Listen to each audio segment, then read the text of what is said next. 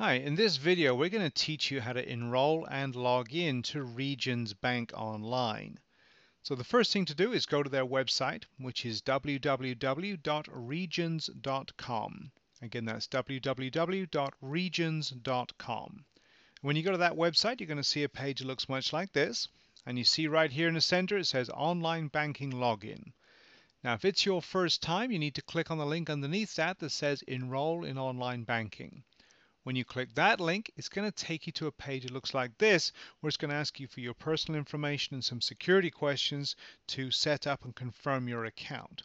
At the end of that enrollment process, you're going to have immediate access to your accounts online.